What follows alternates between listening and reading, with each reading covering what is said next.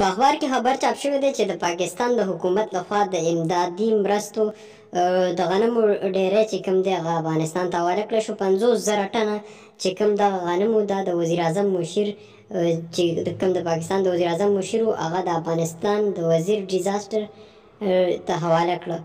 د افغانستان د طرفو د عوامو دپاره پنځو اربو روپو امداد به ورکړی کیږی دوی مخکی د اشرف غنی په حکومت کی دا امداد نه وو ورکړی اوس یی ورکوی دا تاسو تصویرونه وینی چی دا د پاکستان د ولس بچی دی کوم چی په پیښور کی د شپی په سرکونو پراته دی دا ماشوم په دوه زره اکیس په یو دیرشمه ورځ باندی دا تصویر اخیستل شوی دی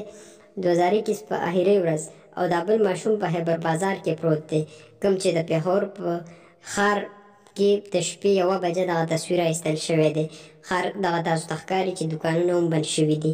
د دې ښار د دې وطن د خلکو دا حال دی. بل خوا خلک دا تور هم لګوي چې کوم طالبان راغلي دا د پاکستان خپل خلک دي او دا تصویران په سوشل میډیا ګردش کوي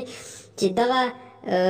کس چې کوم دی د سره د جنډه د پاکستان لګیدلې دغه ګوتمۍ اچولې بل خوا ورسره دغه جامې دي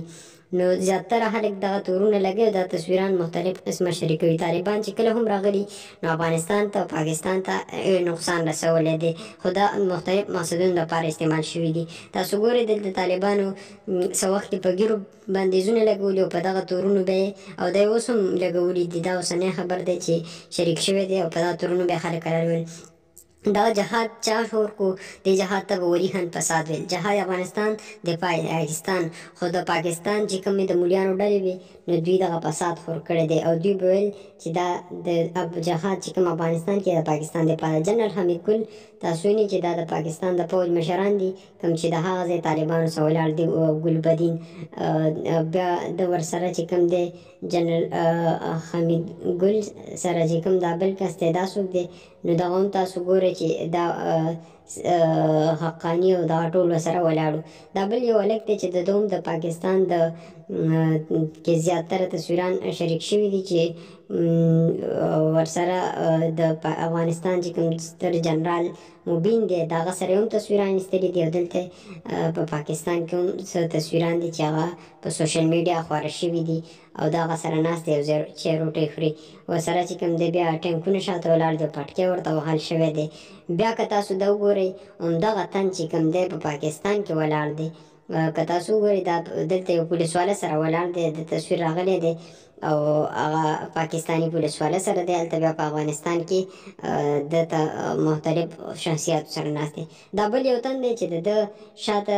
افغانستان کې وزارت ورته واله شوی او سکیورټي ورسره هم دی او د احمدشاه ابدالي تصویر ورسره شاته لګېدلی دی خو که بل خوا تاسو وګورئ نو د ده شاته د قاضي اعظم تصویر لګېدلی دی او د پاکستان کې دغه درې کسان ورسره پاکستاني ولاړ دي او دا دلته په پاکستان کې دی چې کوم دغه شی هم کېدای شي که دا دلته چېرته څه کار پسې راغلی خو دا هو دهشتګرد دي ترهګر دي دلته نه دي پرېښودل پکار که ترهګر نه دي نو دوی بیا ولې د دوی پوج او د دوی چې څومره کسان دي زیات تر په سوشل میډیا هم خپل مهونه پټ ساتي تاسو وګورئ دا دوی پوج دی خپل مهونه مکمل پټ ساتلي دي او دوی چې کوم سبق ښي وړو ته نو هغه داسې ښي چې الف انار بې بم پۀ پرده پۀ توره جيم جهاد چې چاقو خې حوره خې خيرات نو دوی وائي چې